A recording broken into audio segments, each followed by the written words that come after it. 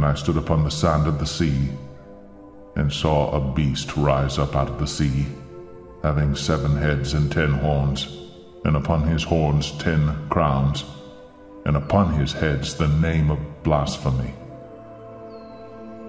And the beast which I saw was like unto a leopard, and his feet were as the feet of a bear, and his mouth as the mouth of a lion, and the dragon gave him his power, and his seat and great authority.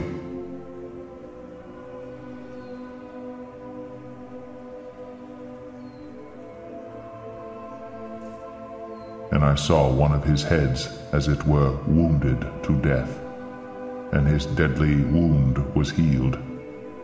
And all the world wondered after the beast. And they worshipped the dragon which gave power unto the beast. And they worshipped the beast, saying, Who is like unto the beast? Who is able to make war with him?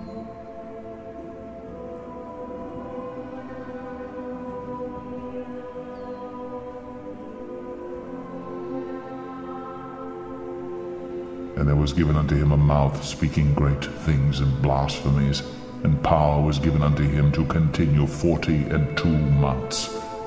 And he opened his mouth in blasphemy against God, to blaspheme his name and his tabernacle, and them that dwell in heaven.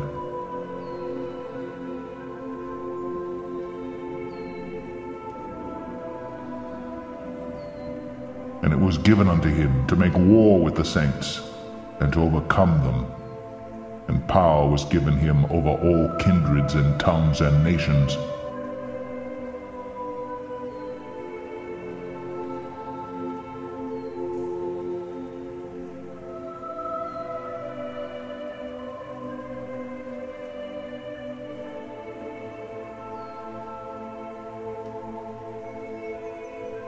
And all that dwell upon the earth shall worship him, whose names are not written in the book of life of the Lamb slain from the foundation of the world.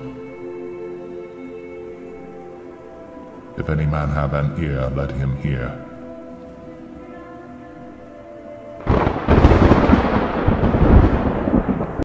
Just quickly doing this again because I found a possible indiscrepancy. Right, so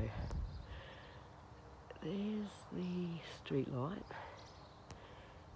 There was a light over here. Hang on. There, there. And out here is an obvious orb. Those there's no street light. And it wasn't there anyway. Okay, no street light. Now I've just got to have a look. Oh yeah, no, it is. It was there. No street light. A pole.